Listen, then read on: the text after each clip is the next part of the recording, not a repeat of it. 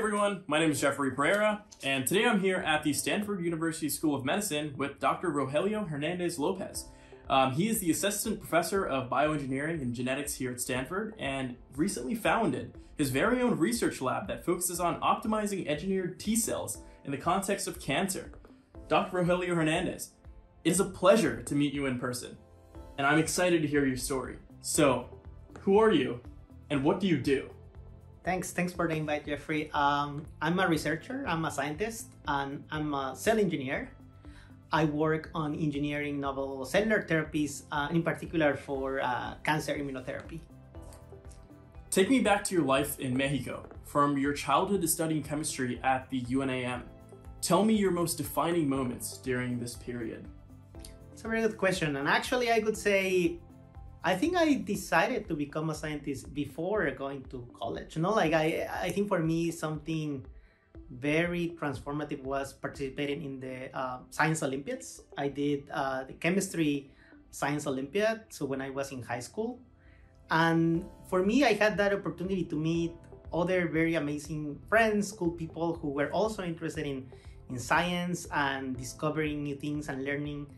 And I also had the opportunity to even though I was a high school student growing up in the south of Mexico in Oaxaca, I had the opportunity to go to UNAM, uh, to the largest university in Latin America, and meet uh, a bunch of scientists uh, who were training us no, for uh, these uh, science competitions. But more than like learning new things, I think it was the idea to be in an environment where everybody loves to learn and loves to discover new things and understand how the world uh, works.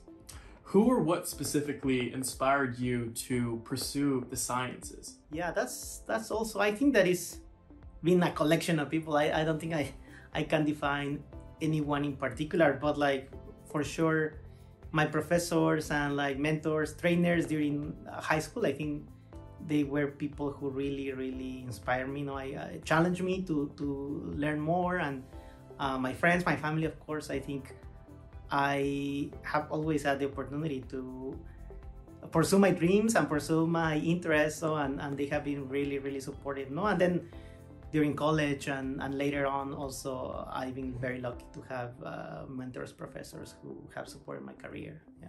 so a lot of the research you do is regarding engineered t cells.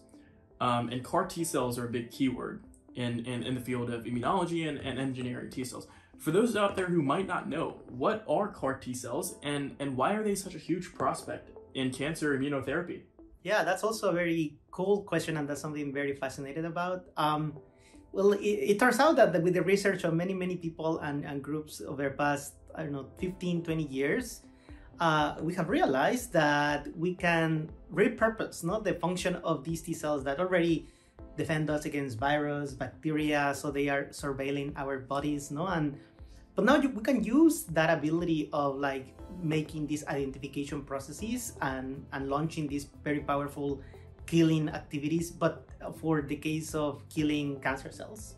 Um, so we use methods of synthetic biology and synthetic receptors that allow these T cells to now identify uh, cancer cells, and upon that identification, then um, launch killing programs that will ultimately not get rid of the cancer cells. And, and there is a lot of excitement because for the case of liquid tumors, um, blood cancers such as lymphoma and leukemia, this has worked uh, remarkably well. No? Um, people who in the past uh, have failed chemotherapy or uh, bone marrow transplant now um, are getting a very, very, very uh, decent remission rates with uh, this approach. So there is a lot of excitement of trying to use the same idea, the same approaches, but now this time to um, treat solid tumors. So there obviously is a promising future for CAR T cells and re-engineering T cells for therapeutic benefit, right? What exactly are the drawbacks to CAR T cells? Yeah, that's also something that is uh, there is many many things that even though um, is very promising, in order to use this technology or this approach uh, against solid tumors, there is problems such as poor infiltration or exhaustion of these T cells, um, even though they at the beginning can start killing the, the tumor cells over time, not like these T cells get get exhausted or uh, they die, they don't proliferate enough. So trying to control those behaviors is uh, a set of problems that there is many groups, including mine, um, that we're trying to solve. The other one, and that was part of my research uh, during my postdoc, is how can we make these T cells very, very specific to only cancer cells? No, even though um, we have heard uh, about cancer cells have like proliferation rates that are faster than normal cells, or they express here and there few proteins that are different between cancer cells and normal tissue. Still, there is very few features that are make very distinctive not cancer cells from from normal tissue. So um, for CAR T cells to really work, we need to engineer that specificity or uh, like a higher order computation um, so that they can really distinguish or discriminate cancer cells from normal tissue. So, what would you say is the future of cancer immunotherapy, and where do you see your lab um, going in the next decade or so? Or so? Yeah, that's another. I think that um, the future is going to be hopefully, you know, we're going to figure out how to produce very specific and persistent uh, T cells. Uh, hopefully also we're going to figure out ways to engineer them uh, more efficiently and more cheaply because at the moment uh, this approach um, it's even though it's personalized medicine is super super expensive. So as you could imagine um, the access of these technologies for just the widespread population is still very limited so i am hopeful not that through the work of many many groups including mine we can find new ways to engineer these cells program them in, in smarter uh, more efficient ways and um, really uh, bring these new technologies and approaches to to the masses no, or the widespread usage of the, this new approach. What would you say is your guilty pleasure? Uh, I really love 80s uh, movies, not like Back to the Future or like uh, Planet of the Apes and I don't know, like Rockies. I have watched all of them multiple times. So I think growing up, uh, yeah, I, I would spend like Saturdays or Sundays just watching one after the other. So that's something that I probably I still enjoy nowadays. Yeah. I'm an absolutely terrible dancer, but someone told me that you love salsa dancing. Would you be down to teach me a few steps? I can probably teach you one or two, but uh, something that let me let me just tell you like this little story. I even though like contrary to what like people will think about oh I, I grew up in Mexico and uh, many people think oh you must know how to dance. I think that is not true. Not, not everybody in Mexico no, or uh, in Latin America knows how to dance, and it was my case. Uh, but before actually starting grad school, while I was uh, training for the GRE, I had like a little bit of extra time, and I thought, oh, I should probably find like a way to distract myself. No, I cannot like uh, be studying all the time. So I started taking um, dancing classes and I really love it. So I really hooked, uh, got, uh, got, hooked into uh, the salsa dancing. So that was back in Mexico, like probably maybe eight or 10 months before I started grad school. So when I moved to to Boston, so I look for classes. So I really pick that up as a hobby, and that's something that now every time I travel for either vacation or for conferences, I try to look for a place to to go salsa dancing. That's amazing. Yeah. Okay. Yeah. So for the most basic uh, step in salsa is an eight count. Okay. So you start with your left foot to the front. Uh, so one, one, two in place, three, three, then pause. Okay. That's four, and then five, five six, six, seven, eight. eight. Another pause. Okay. So again, like it is one, one two, two, three, three, pause. Five, six, seven, pause. pause. Okay. So that's the gotcha. basic step. So okay. everything in salsa happens with that count. And you could do then forward and backward, or you could do side steps, but follow okay. the same logic. Okay. You know? What is one moment when you realized you made the right career choice?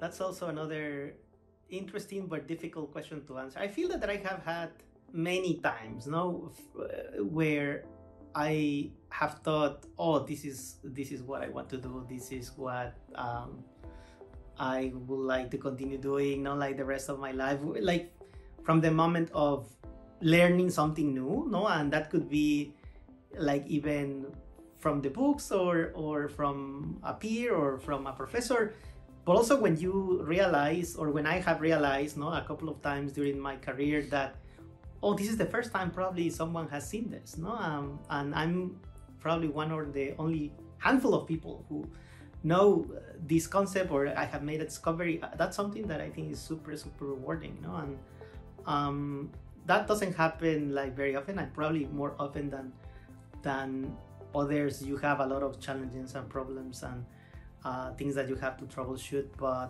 but I think uh, regardless of those moments, like these key moments when you say, ah, no, this is very cool. Oh, I this is the first time I see this, or oh, I didn't think about that. I wonder if I wonder if this means that. So I think those moments are something really cool about being a scientist and do science. In the rawest form, what is it like being an immigrant in the science world? Um, that's also a very good question. I feel that it's a process of constant learning, and I don't know what would be the correct analogy. Maybe traveling to a new country where, which is oh, part of not being an immigrant, where you are slowly learning to speak the language. You are trying to figure out what the signs mean, no? how you navigate, no? like I don't know, taking a bus or going to subway, you know, or going from point A to point B. I think there is a constant learning process, and that's something that for sure is challenging, but also is like very fun to explore to navigate. So there is a constant process of exploring and learning. That that's something that I I really enjoy. Um, I think also the same idea of traveling that you bring the knowledge and the experiences uh, with which you grew up so that contributes not like to this learning process or how you approach uh, this learning process of navigating the science and the science world in in a different country yeah. Now how would you say that your multicultural background has helped you as a scientist? I think by giving me a different perspective no in terms of how things are done in in one country versus another. For example i mean something that um, i think i got a very very good uh, training back in mexico i learned a lot but i learned probably from the books. I had to study a lot from the books. And something that i realized when i moved to the us is that now you have access to all this equipment and people and, and technology and but you can use all that knowledge you know now to put it into practice. And um, I think also learning how to do science with fewer resources and in that also for sure kind of pushes you to be more creative no? In, in how to solve a problem how to uh, try to be more efficient. So um, i think that's that's how i can see uh, that as an advantage know the other uh, just connecting to with multiple people i think that uh, i can understand a little bit what it means to move from not your home country to a new place to learn the language to maybe miss family and, and home no um, and that helps me to connect also with different type of people for of course people from latin america we speak the same language so i can connect also in the scientific aspect but also in the personal aspect what would you say you miss the most about you know, leaving your home country, Mexico? Uh, for sure, family, family, and the food. Even though now that I'm in California, I can find much better tacos and much better, you know, like uh, uh, things that I will eat back home. Um, just being far, I guess, from family, uh, from like these constant reunions of like for birthdays, no, or parties, no. That's that's something that I missed. I, I've been also very lucky and fortunate to have created a group of friends and, and people who now I consider my family here. So, uh, um, but yeah, I think uh, that that's what I miss the most. When I say the word mentor, who comes to mind, and what would you say is the most valuable thing you learned from them? Yeah, mentors are those people who they know what to say in the right moment, no? And it could be the moments when you really need someone to cheer you up, but also people who are encouraging and pushing you. know, uh, I uh, growing up, I was um, uh, before actually I entered science, I was a swimmer, and I feel a competitive swimmer. So I, at that time, no, like uh, my mentors were my trainers, no, and and the role or the job of my mentors and trainers were like to push me, no, like to to be faster, to be stronger, no, and and I think in science there is a little bit of that also. Like the role of the mentors is to try to guide you and to teach you, but also um, give you the enough freedom so that you pursue your interest and, and achieve your goals. And my mentors in college, in during my PhD and my postdoc, have been great at that uh, in their own style and their own like uh, skills. I have always had the opportunity to pursue my interest and um, they have always been there to support me when I needed them. So yeah. So was there? You mentioned that you were once a competitive swimmer. Was there ever a conflict of interest between you wanting to pursue being a swimmer for as a career versus you wanting to be a scientist uh, for the rest of your life? I think that happened for me exactly in high school. Um, there was a point where I was trying to do a little bit of both, still uh, continue doing my t- trainings, no, which were like three hours every day, you know, plus maybe Saturday, sometimes Sundays, and so I, at some point I had to decide whether to continue on that or maybe just say no. I actually want to dedicate no like time um, to study you know or to do other type of training so because i started swimming when i was uh, a kid no like uh, i think i had a good run from when I was 9 to 15, 16 years. So at that point, like I was not the tallest, not I was not the strongest. So I thought also, oh, probably I won't have like a a, a very long career uh, as a swimmer. So yeah, I just uh, decided to dedicate myself to to science. So yeah, starting a lab, I mean, you recently did this past May, is especially at Stanford, is a remarkable achievement in itself. How would you say that you set yourself up to achieve so greatly? I don't I don't think I ever thought oh I want to be a professor at Stanford. No, mm-hmm. like I I think that's something that I have always tried to plan just the next step and then I have like okay I want to be a professor and that's something that I think I decide pretty early on in my career but I didn't know where or how but I just um, during my PhD and postdoc, I tried to pursue the questions that I thought were were interesting. The and when I went to the job market, no, I, I just tried to do as best as I can, try to learn from others who have gone through the process, try to go to workshops, not to learn like what is it about to be a professor. And uh, it was quite of a, an experience and a learning process from the moment where I decided yes, I'm applying this year to going through a process of interviewing and like presenting what ideas I was gonna come up with for my own lab for the future. Um, yeah, I learned a lot, and I'm just like very uh, grateful. I guess that things work out for me. Yeah. So with your new lab, I mean, there are a lot of other T cell um, engineering or re-engineering T cell labs and, and cancer immunotherapy labs. What new approaches do you think your lab will bring to the table?